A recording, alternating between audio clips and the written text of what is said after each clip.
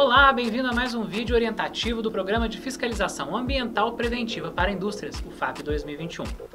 Um dos setores ou atividades industriais selecionados pela SEMAD com base no seu planejamento anual estratégico para a quinta edição do programa FAP foi o setor de sucos e refrigerantes.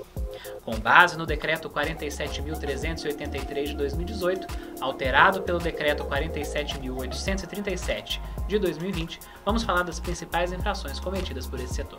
Descumprir ou cumprir fora do prazo condicionante aprovado nas licenças ambientais, inclusive de planos de controle ambiental, de medidas mitigadoras de monitoramento ou equivalentes.